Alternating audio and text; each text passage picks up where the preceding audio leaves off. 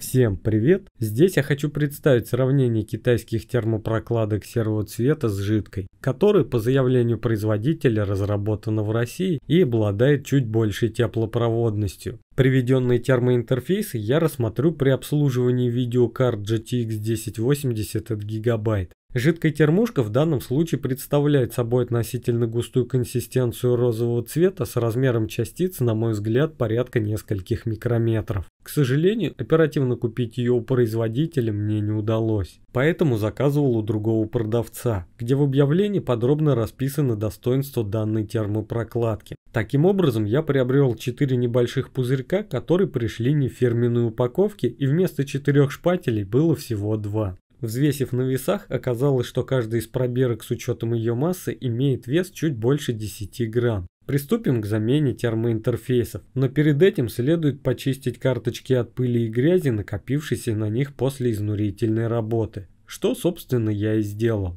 На первую видюшку установлю обычные термопрокладки. Для этого с помощью линейки произвожу замеры возле чипов памяти, дросселей и мосфетов линии питания, где располагались старые термоинтерфейсы. Подготовив свеженькие прокладки на обвязку питания, устанавливаю термушки толщиной 1 мм, а на память 0,5. На мой взгляд, прежде всего с целью экономии термопрокладок, их можно расположить на каждую банку отдельно. При этом я рекомендую сделать их с небольшим припуском для максимального контакта с чипами, что даст наибольший отвод тепла. Затем остается нанести термопасту на ГПУ.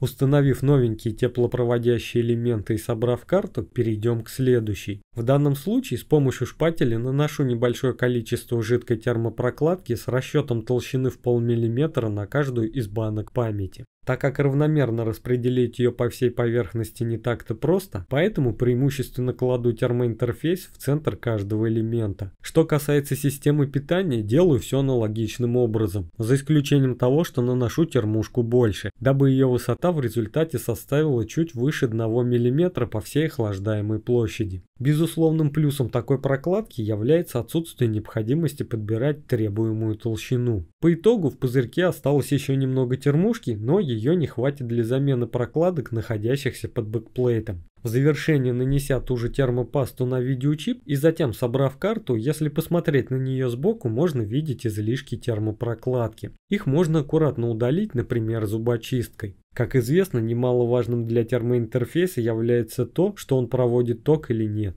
Посмотрим с помощью мультиметра, так ли это на самом деле. Как видим, в данных условиях она является диэлектриком. Поэтому выполню проверку, пропустив через нее 12 вольт от обычного блока питания. В таком случае плюсовой провод погружаю в термоинтерфейс и опускаю в него один щуп, а другой прикладываю к минусу источника. В результате прокладка не проводит ток. Вернемся к видеокартам и посмотрим, как они покажут себя в работе. Запустив программу Afterburner сразу после старта операционной системы, можем видеть, что температура процессора карточки, используется жидкая термопрокладка, на начальном этапе ниже. Также выполню тест Формарк. Тут наблюдается такая же ситуация. Карточка с обычными термопрокладками нагревается немного больше. Стоит учесть, что приведенные программы показывают температуру ГПУ видюшек, на которых используется одна и та же паста. И как вы думаете, какая может быть тут связь с термоинтерфейсами? При условии, если исключить погрешность измерений, особенности самих видюшек, то, возможно, жидкая термопрокладка немного эффективнее передает тепло, чем обычная. В результате пространство возле графического процессора нагревается немного меньше.